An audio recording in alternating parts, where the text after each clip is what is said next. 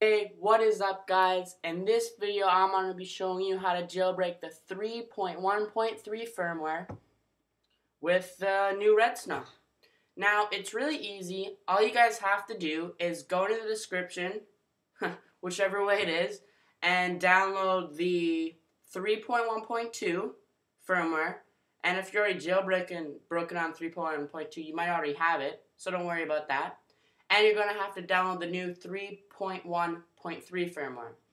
So that's it for the firmwares you're going to need.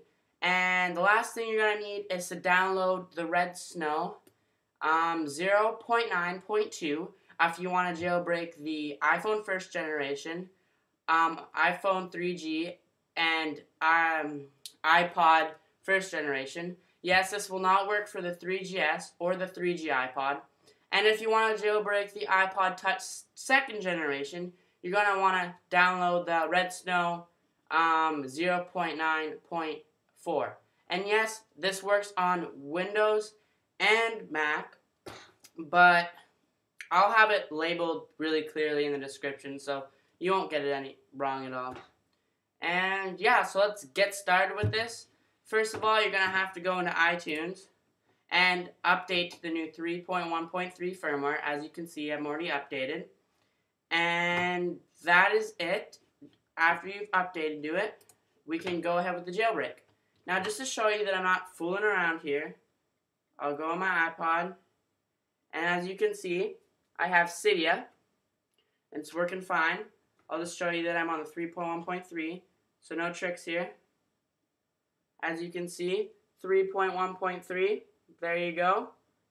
And yeah, so let's get started with the jailbreak. So all you have to do right now is restore to the 3.1.3 firmware.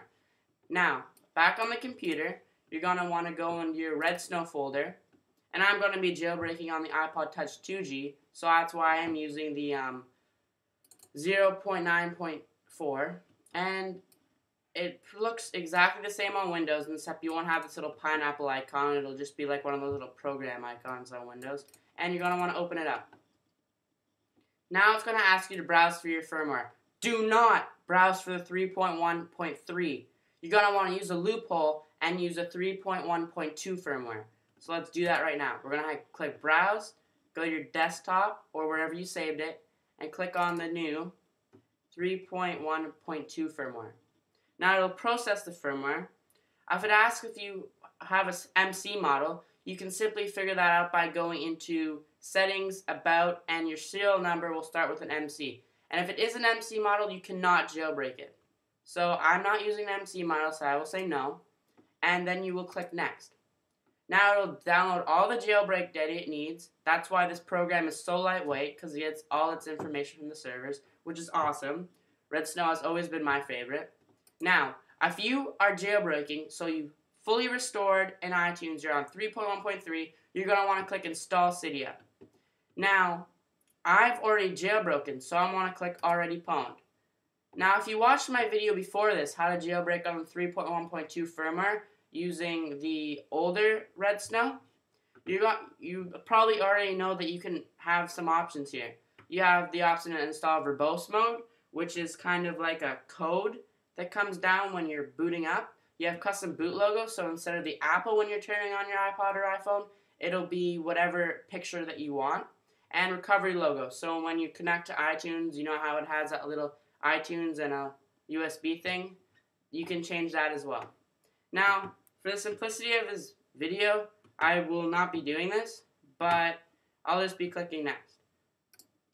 Now, make sure here that your device is connected to your computer. So my iPod is connected and it's off. So all you have to do to turn it off is hold down the power button and click slide to power off.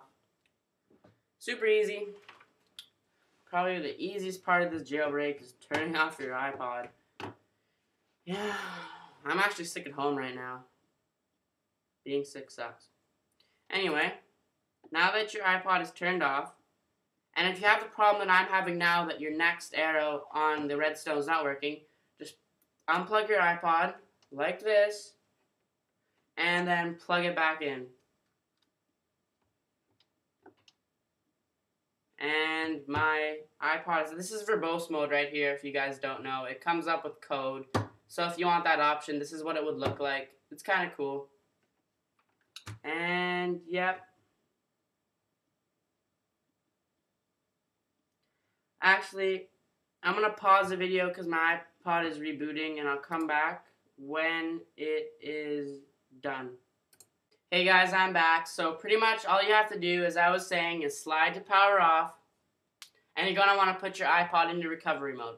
So once it's finished turning off, all you're going to want to do is hold down the home button like this. And as you're holding down the home button, plug in your iPod with the cable. So as I'm doing right now, I'm holding in the home button and I'm plugging in this. It's giving me trouble. And just keep on in holding it. And you should get this, um, yeah. And then your iPod should start to jailbreak. As you can see on the computer, it's uploading a bunch of crap.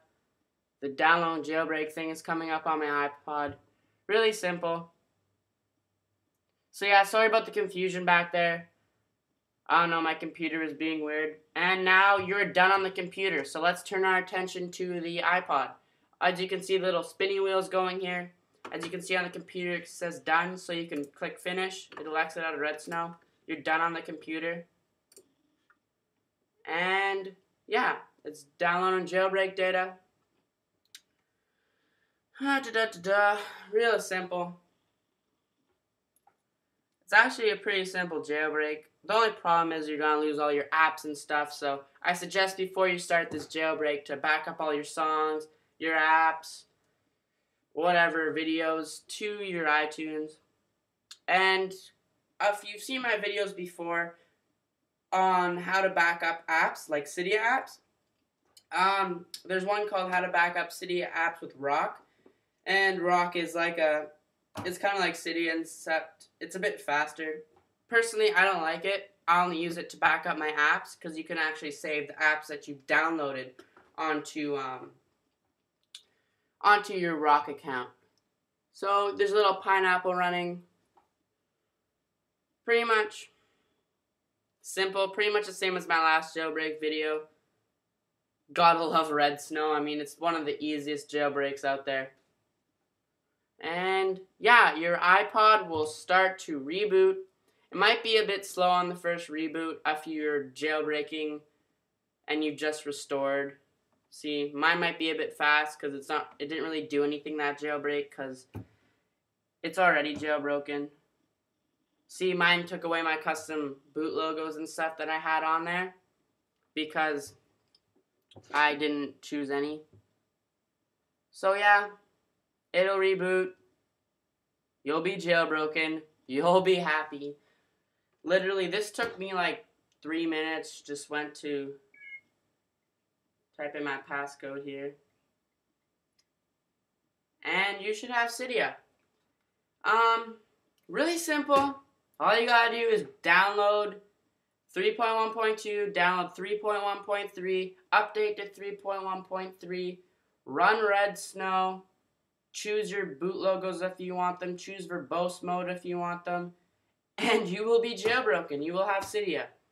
So that's about it, guys. Just remember that you cannot do this on the 3GS or the iPod.